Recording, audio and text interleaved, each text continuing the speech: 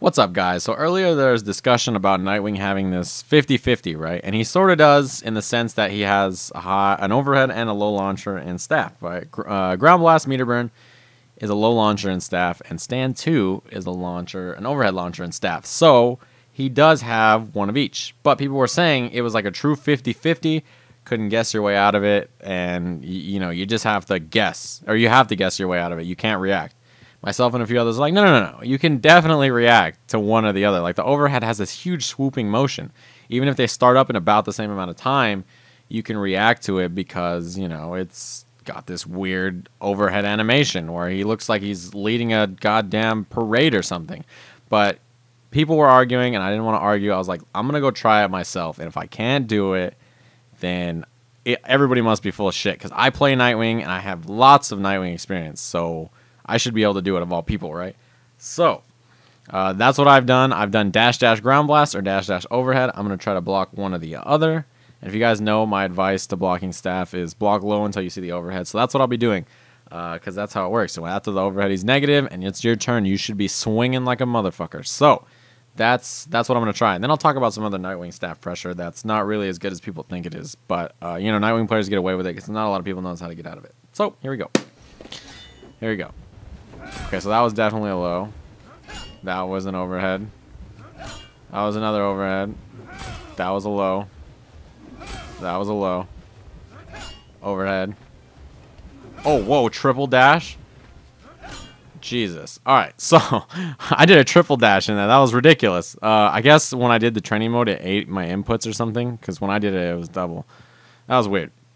So was, I was like four or five times in a row, right? And I, I blocked it. So I mean, it's not hard to block. You you can block it on reaction. I mean, it's not like it's an infinite. Okay, I'll try it one more time. There we go. So yeah, it's not hard to block. I just blocked it. I don't know how many times, like what six times in a row or something. It's not hard to block. It's you can react to it. So now that that's out of the way, uh, if you have Nightwing experience, you can react to it. So let's reset this this training mode. Um, we'll put it back to the middle of the screen and I'll talk about something else, right? So, uh, one of the things I see mentioned a lot is that after meter burn pound, Nightwing is, you know, plus enough that he gets the same kind of pressure he does after meter burn spin. Uh, that's actually not true because after meter burn pound, you'll push them away enough that you can't get the same kind of pressure, right? So, uh, let's say I do, so I'm in staff, and I do something like stand one, meter burn pound. If they block it, you want to do jump two after, right? That's like a lot of people do stuff like that, right? So stand one, meter burn pound, and then they want to do jump two after, which would hit me if I was like actually blocking in a real situation.